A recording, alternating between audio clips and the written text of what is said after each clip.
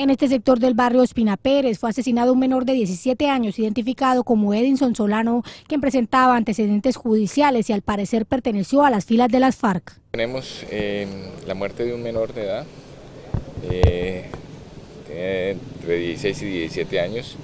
Este muchacho tenemos información eh, que había sido reclutado por la guerrilla desde los 12 años, tuvo tres años posteriormente perteneciendo a la guerrilla, se escapó de la guerrilla.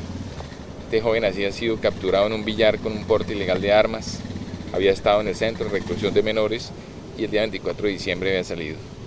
Eh, ya estamos precisamente en la verificación de los hechos, exactamente las actividades que estaba cumpliendo este muchacho, eh, si estaba metido con actividades delictivas después de haber culminado eh, o haberse salido de la guerrilla. Cuando el joven transitaba por este sector para ir a visitar a su pareja, fue atacado con arma de fuego. El hombre huyó del lugar en compañía de otro sujeto quien lo esperaba en una motocicleta. Vamos pues ya tener unas eh, informaciones concretas y que nos puedan permitir eh, la captura de los sujetos que perpetraron este crimen. Según el coronel Jaime Barrera, comandante de la Policía Metropolitana, los hechos podrían tener relación con un asunto pasional.